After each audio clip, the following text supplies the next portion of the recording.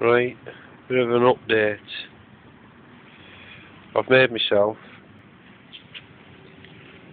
a cheeky little container for me uh, sawdust burner and me uh, chimney heat exchanger thingy doings.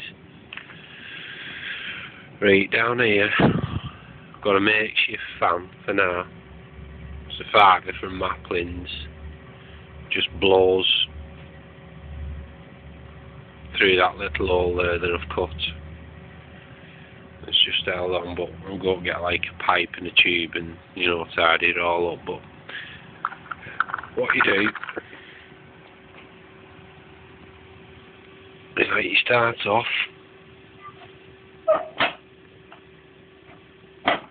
right. There's the elder tin, the sawdust in it. Just slot him in. And then shut the door. And then put the fan. Later put the fan there. That keeps everything cooking nicely. Now what I've sussed is try the L radiators because I'm using 12 volt pumps they're just not powerful enough if you have them vertical. But if you lay them horizontal, they'll melt wax.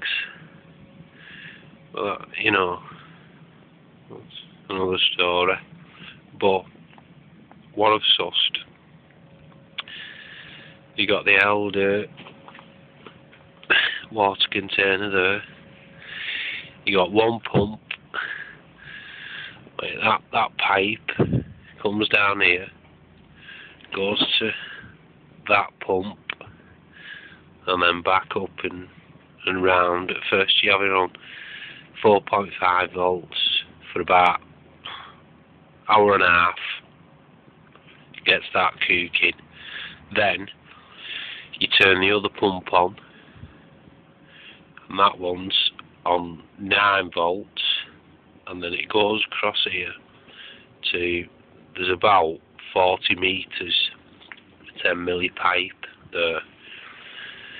And it's like lovely and warm and everything now. But it's like um, I don't know whether it's a good or bad, I can't remember I'm not really bothered but what it is is it's lukewarm right? And then when you go to here say like this plastic, touch the plastic, lovely and warm.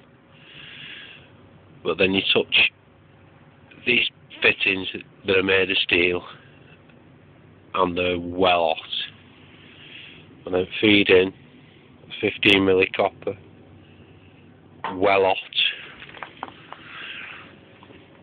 Then you go around here to a copper pipe that comes out of heat exchanger thing and uh, not just the pink because I've burnt myself because that's just really hot.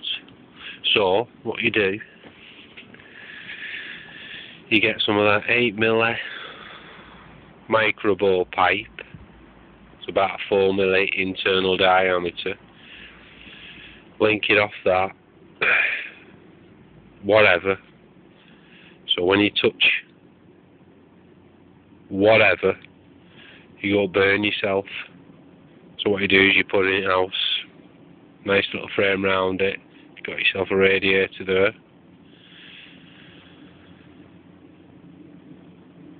I've ordered some. It's dirt cheap. It's cheaper than 10, cheaper than 15.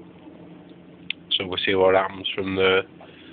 But, rating them on a winner. Just a quick one these sawdust burners, if you pack the sawdust really tight, it lasts long, gives off a whack of heat, but if you pack them loose, it gives off a raff load of heat, and it lasts about an hour less.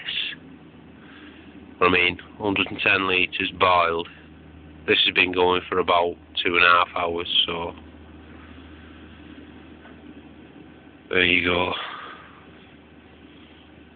It's a stage. If forward.